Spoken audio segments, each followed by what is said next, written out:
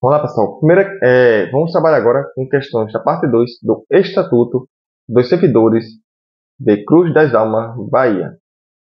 É, quiser comprar os materiais, lembrando, o nível médio e superior, eu tenho a lei orgânica e o estatuto disponíveis para vocês. Se for para o nível fundamental, eu tenho questões da história, geografia, economia, tanto do município quanto do estado da Bahia. Tá? Material PDF, questões, trabalhos comentados. E vamos lá, porque aqui eu fiz muitas questões. Hum? É, simbora. Será concedido abono familiar ao funcionário ativo ou inativo pelo cônjuge ou companheira do funcionário que viva comprovadamente em sua companhia, exercendo ou não atividade remunerada. 2. O filho menor de 14 anos que não exerça atividade remunerada e nem tenha renda própria. 3. Por filho, por filho inválido ou mentalmente incapaz, sem renda própria. Quais estão corretas? Letra A, 1, 2 e 3. B, 1 e 2. C, 1 e 3. Ou D, 2 e 3. Vamos lá?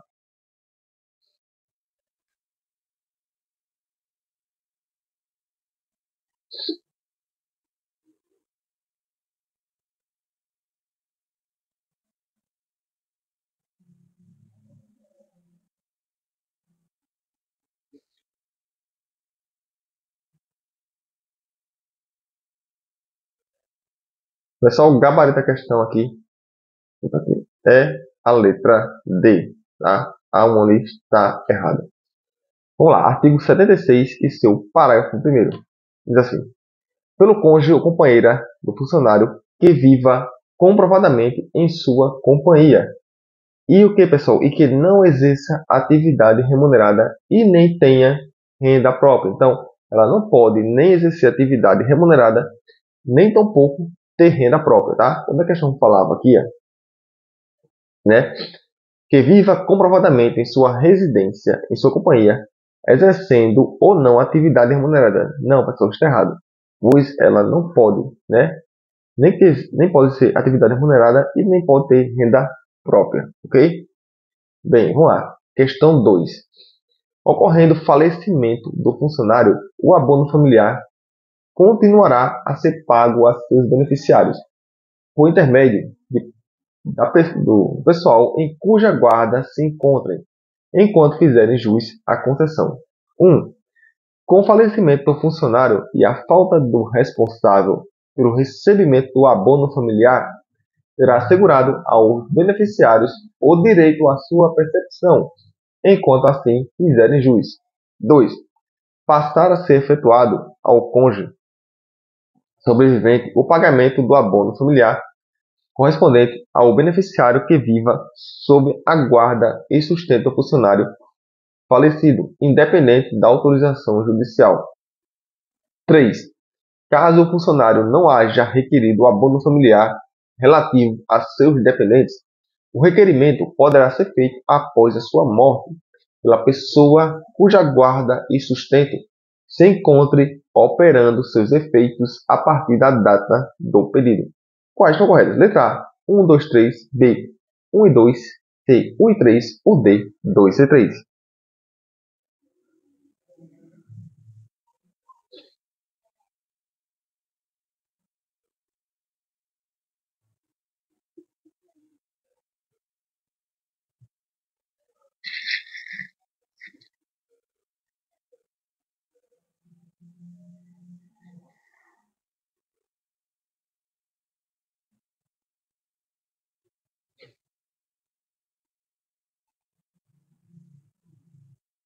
Pessoal, já marcaram o gabarito? Se você marcou o gabarito na letra C, você acertou. Tá? O 2 aqui está errado. Artigo 77, parágrafo 2 Passará a ser efetuada ao cônjuge sobrevivente o pagamento do abono familiar correspondente, pessoal, ao beneficiário que viva sob a guarda e sustento do funcionário falecido.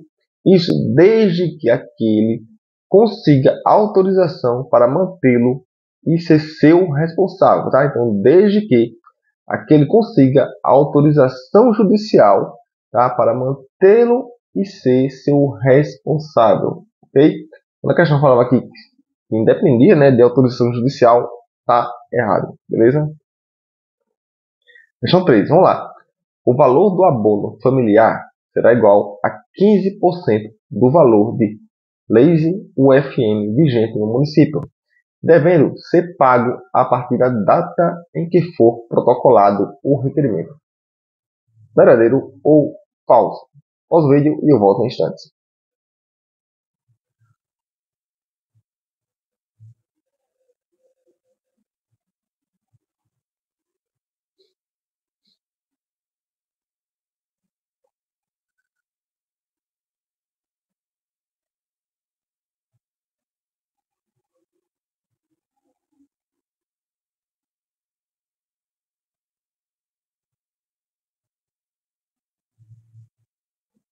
Pessoal, o gabarito da questão 3, da caneta, está errado. E não será igual a 15%, mas sim igual a 5%, tá? Já bem, artigo 78. O valor do abono familiar será igual a 5% do valor de leis UFM vigente no município, devendo ser pago a partir da data em que for protocolado o requerimento. Parágrafo único. O responsável pelo recebimento do abono familiar deverá apresentar, no mês de julho de cada ano, declaração devida e residência dos dependentes. Isso sob pena de ter suspenso o pagamento da vantagem, tá? Então, o responsável pelo recebimento do abono familiar deverá apresentar, pessoal, no mês de julho de cada ano, tá? No mês de julho, declaração devida e residência dos dependentes. Isso, pessoal, se não for cumprido, ó, ele poderá ser suspenso o pagamento das vantagens. Bem? Então decora aí esse mês aí, que é mês de julho, tá? Beleza? Questão 4, vamos lá, adiante. Tem muitas questões aí pela frente. Questão 4. Nenhum desconto incidirá sobre o abono familiar, nem este servirá de base a qualquer contribuição, ainda que para fins de previdência social. Pausa o vídeo, responda a questão e eu volto em instantes, ok?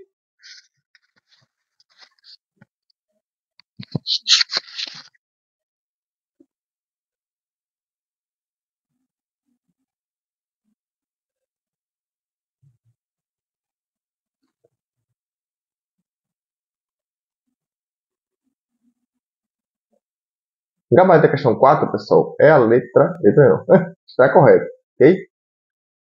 Artigo 79. Nenhum desconto incidirá, pessoal, sobre o plano, sobre o abono familiar, tá?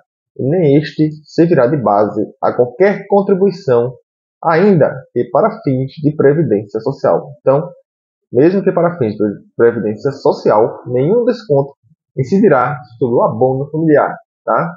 Beleza? Questão 5. Todo aquele que, por ação ou omissão, de causa a pagamento indevido de abono familiar, ficará obrigado à sua restituição, sem prejuízo das demais combinações legais. Certo ou errado?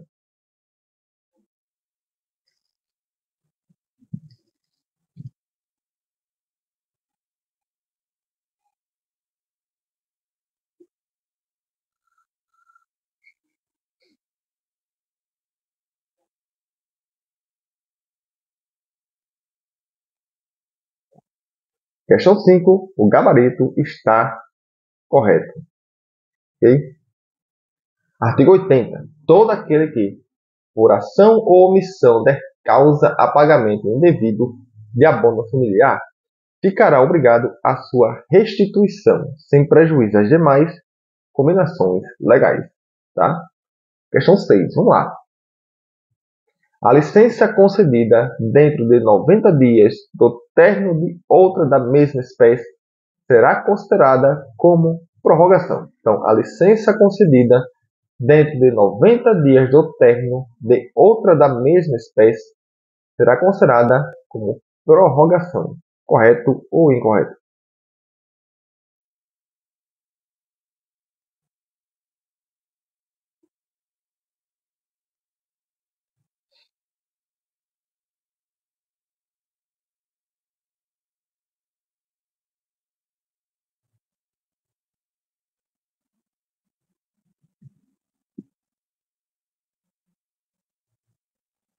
Gabarito da questão, pessoal, está errado. Ok? Artigo 82. A licença, pessoal, concedida dentro de 60 dias. Então, não dentro de 90, tá? A licença concedida dentro de 60 dias do término de outra da mesma espécie será considerada como prorrogação, tá? Então, a licença concedida dentro de 60 dias do término de outra da mesma espécie, tá? Será considerada como prorrogação. Questão 9 e a última do dia. Será concedida licença à funcionária gestante por 120 dias consecutivos, sem prejuízo da remuneração. Marque o item errado.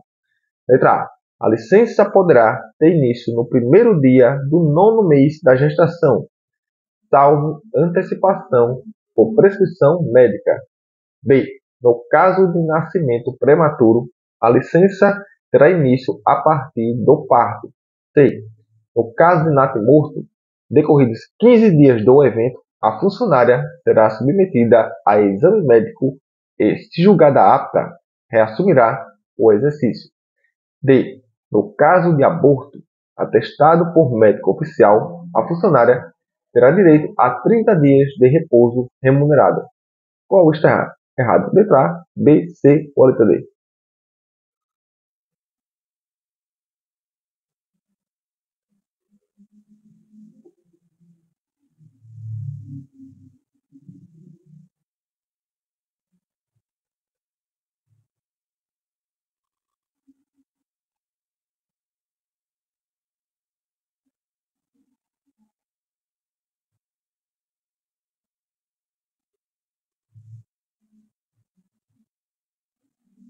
Pois bem, pessoal, o gabarito da questão aqui é a letra C, tá? Aqui uma... Se você não soubesse do tema, tá? Se soubesse, isso aí é um pouco de lógica, tá? Veja bem. O que, é que diz a letra C? No caso de nato morto, decorridos 15 dias do evento. Pessoal, você acha mesmo que uma mãe, a partir de 15 dias, já teria a capacidade mental, né?